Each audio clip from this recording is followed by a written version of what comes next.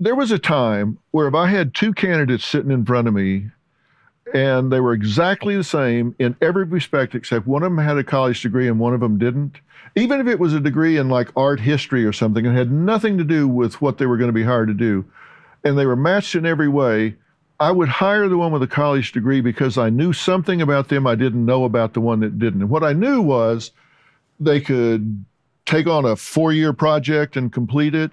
They could meet deadlines. They could get along with assholes that they didn't like, but it was their job to get along with them, you know, tough professors or whatever. I, I knew that about them, that they could, you know, write papers, get things in on time, do this, do that, that they could take it.